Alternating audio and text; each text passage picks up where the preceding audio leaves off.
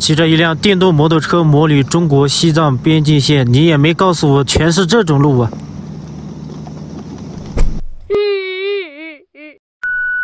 大家好，我是小波，我们现在所在的位置是在波密县的县城，我身后就是我昨天露营地。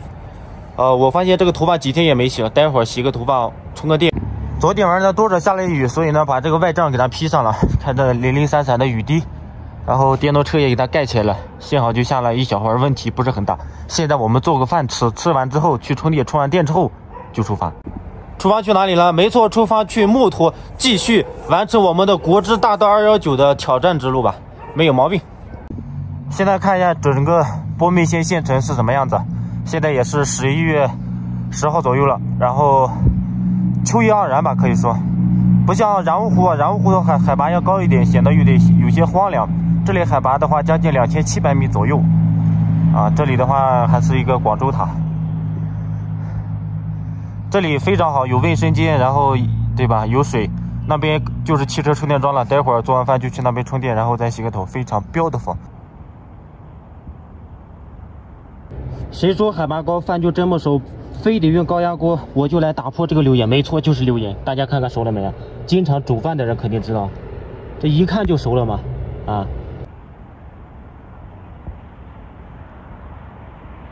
今天呢，打算做一个炒饭，但是现在下起小雨来了。看一下我们今天的食材，啊，这个是蒜苔，还有胡萝卜啊，然后配料就是一个葱，一个辣椒啊，没毛病。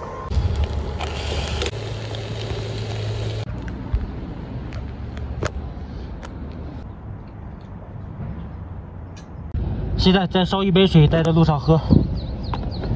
好，现在我们就动作麻利一点，赶紧来这里充个电，充完电就出发。现在我们的车在那里充电，为了不耽误时间，我过来就洗个头。这水是真的冷，幸好问题不大，马上就洗了。好了，兄弟们，现在呢，我们充完电了，现在出发。这个墨脱县这里呢，墨脱公路它实行的是双进单出。什么是双进单出？就是说。自己去搜。日子是，比如说十号就是能进去，但是你不能出来。然后十一号的话就是能能出来不能进去。为什么是这个样子？因为他们这边的路有些车很窄，所以我们现在看一下到底他这里路点不点，好吗？我今年二十几岁，熙攘的人群在拥挤我严家的梦想，天空的繁星已照亮了前行的路。这里有飞铺装的路。父母还在身后看我说赢，战斗的钟声已经打响，最忌讳的就是在出发前停下来。看，剩下的太阳已晒在少南。骑着一辆小电驴，欣赏着沿途的风景，听着音乐，多是一件美事啊，兄弟们！我会身处名人堂，会让所有知道我名字的人仰望。我一定要在黄昏前到达，我要看到我的爱人。在夕阳里娇艳的容颜，和风铃响起时，他迎风漫舞的衣裙。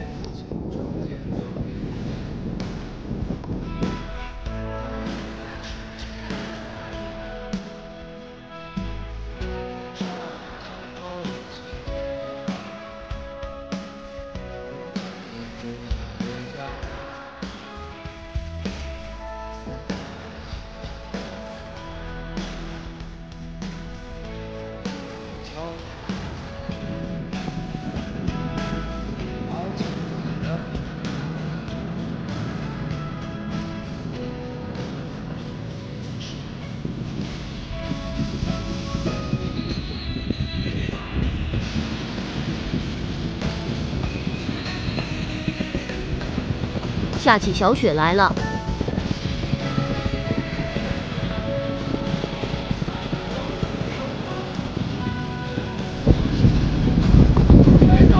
好的，好的，谢谢。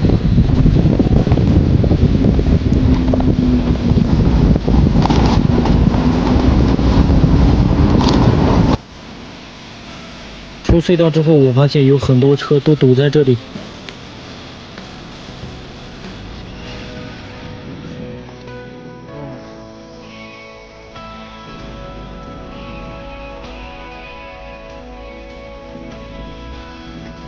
幸好我们是小电驴，慢慢的就能过去，问题大。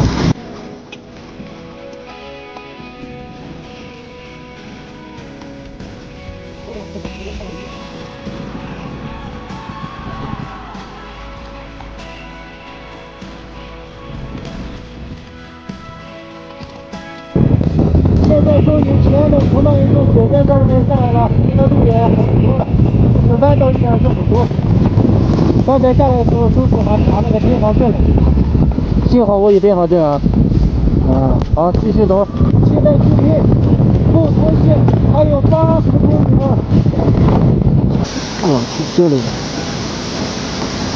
有一个瀑布。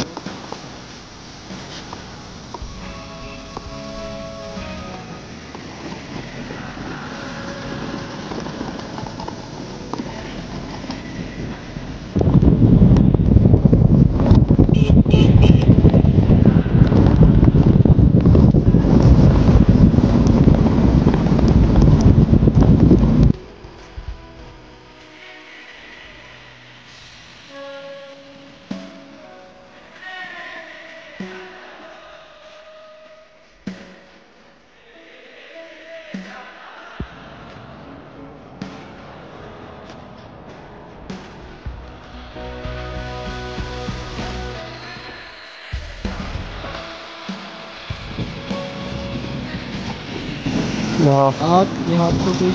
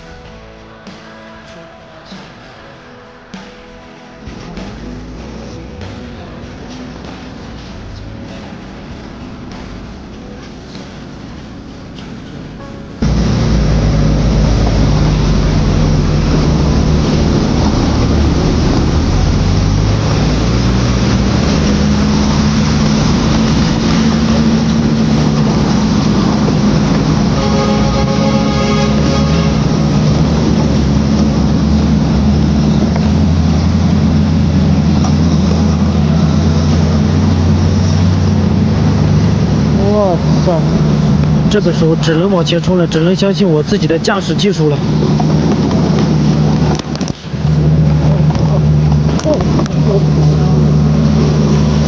牛掰！真是太危险了，这时候一辆国标车能走这种路吗？你胆子啊！所以说还得是电毛型的嘛。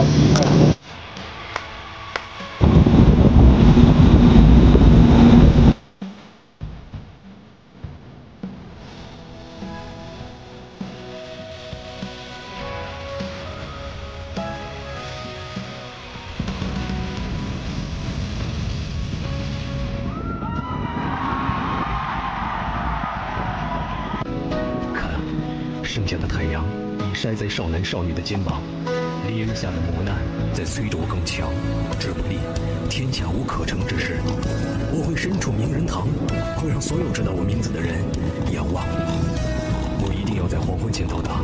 我要看到我的爱人，在夕阳里娇艳的容颜，和风铃响起时，这迎风漫舞的衣裙。现在是晚上的八点，现在到达了墨脱县的县城。我小波什么时候怂过啊？那一个人一辆电动摩托车，依然现在是平安的到达了，兄弟们。现在自己做了个饭吃一下，饭就是早上特意做的饭比较多，然后呢晚上再炒一下，非常的不错。今天呢就打算露营在这个大广场里面了，这有好多车自驾的，前面有个卫生间接了一些水。但是卫生间旁边这么一个水龙头，不是卫生间里面接的水。这里的海拔只有一千米，兄弟们，刚才都有蚊子咬我，真服了。我从边境线一路过来，从西双版纳过来之后就没见过蚊子了。结果没想到这是西藏，居然见到蚊子了。主要就是这里海拔就一千米，一千米都可以说没有海拔，有什么海拔多？呃，今天翻雪山的时候海拔还有四千多米了，雪还在下雪。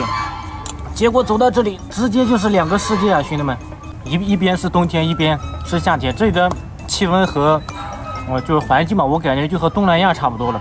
啊，为什么这么说呢？因为和云南西双版纳普洱那边非常的相似啊。这里也已经翻过那个雪山那些山了嘛，可能是喜喜马拉雅山脉吧，具体我也不知道。反正这里环境真不错，这里就是适合旅居的人，我觉得住在这里非常不错。他去什么海南，去什么西双版纳，对不对？就是这里呢，你来是需要边防通行证的，就这一点不太好。不然的话，旅居来这里非常 beautiful。今天这一路，想必大家也看到了，为什么是中国最后一条通公路的县城？就是因为这些路是真的很难修，修好之后维护也是一个很大的挑战。看到吧，这一路上基本只要有流水的地方，路都是有问题，都是在维修。像每年春天可能雪雪融化了，山上面流下来，或者说雨季对吧，都给容易冲毁，就容易有问题，就就必须得进行一个维修。说实话，骑一辆电动车走到这里真的是挑战性很大的，因为现在墨脱县县城没有一个充电桩。现在我的电动车的电的话还有百分之六十多，充充充到百分之百走的。因为今天一路大概一百二十多公里吧，从波密县过来，基本都是下坡，所以没怎么费电。电的话，如果去密林，大概一百六十多公里，估计也足够了。但是那边也不确定路上坡多不多，路好不好走也不确定，甚至能不能走也不确定。因为好像有人说，二幺九国道就是墨脱到密林这一段路呢，容易封路，经常封路，我也不确定能不能走。希望没问题嘛，具体要不要，反正所以今天也就没没办法充电了。这个卫生间，这卫生间贴贴了几个字，禁止给电动车充电，不是禁止充电，没说电动车。其实也不用充电吧，我发现半路好像有个充电桩，但是要稍微可能绕个大几公里吧，有个充电桩，但是不知道是好的还是坏的。反正只能明天再考虑要不要充电各方面的。今天今天过来太危险了，兄弟们，当时没录像，一段泥泞路啊，水泥路，但是上面有很多烂泥，自己骑的好好的，突然之间死亡摇摆，我去，从车头一下开始往后面摇摆，当时我真的是一身冷汗，兄弟们，幸好我技术过硬，及时的把那个头控制。就是车把控制的非常好，就解决了这一次死亡摇摆危机。不然灾难摔车那可就完蛋了。运气特别好，还有过那些水啊，都是很危险的。一辆国标车根本根本都过不去，只能推了。墨脱真是一个好地方，有机会大家可以来一来。今天呢就露营在这里，然后明天就继续往前面沿着边境线继续往密林的方向走。然后现在呢，等明天天亮了，就给大家看一下墨脱县空中的风景。